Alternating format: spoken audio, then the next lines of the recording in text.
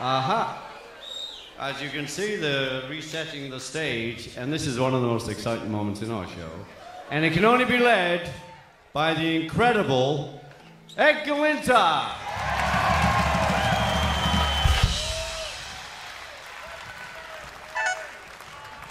Thank you, Ringo.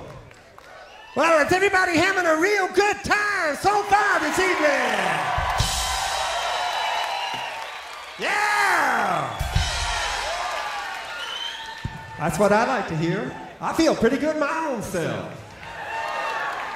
Uh, you know, I started out playing piano and organ, and at a certain point, I got really frustrated being stuck behind a big bank of keyboards. So uh, I happened to be the first guy to get the idea of putting a strap on the keyboard, making me the first person in musical history to do this.